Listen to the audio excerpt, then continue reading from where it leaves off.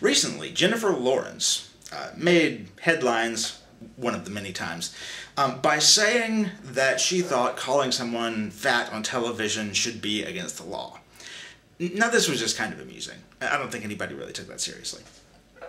But today, I saw on Google homepage something that I found curious um, the Ban the Word Bossy campaign, which I've done just a little bit of research into. It appears um, the Girl Scouts, Google, Facebook, and some other major organizations are behind this campaign to ban the word bossy. I think they're meaning in schools that um, teachers and parents shouldn't call kids bossy, and they may even be trying to prevent other kids from calling each other bossy.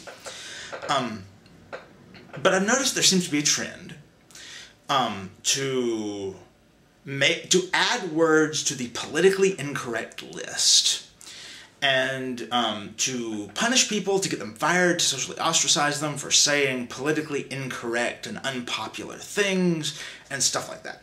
And I think it's great.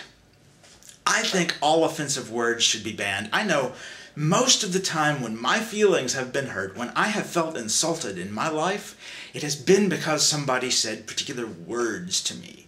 I know most people get insulted if they hear a word like stupid. You know, you're stupid, you're an idiot, um, ugly, fat, stuff like that. Bossy. They should all just be made illegal. But even that doesn't go far enough. Because there's this strange aspect to language that words can change meaning that people can actually voluntarily change the meaning of words. So if you prevent people from saying a word like stupid or bossy, they're just going to invent a new way to do it.